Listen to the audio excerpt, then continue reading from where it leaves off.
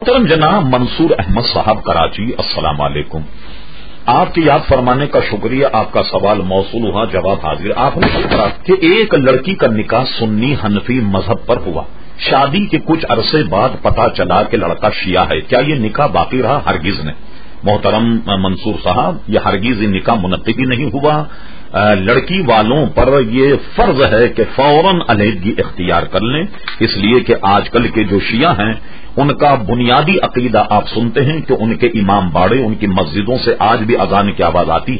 اشد اللہ علی الولی اللہ خلیفت و رسول اللہ بلا فصل یعنی صدیق اکبر، عمر فاروق، عثمان غنی ردوان اللہ علی مجمعی ان کو وہ خلیفہ نہیں مانتے اور بلا فصل حضرت علی کو خلیفہ مانتے۔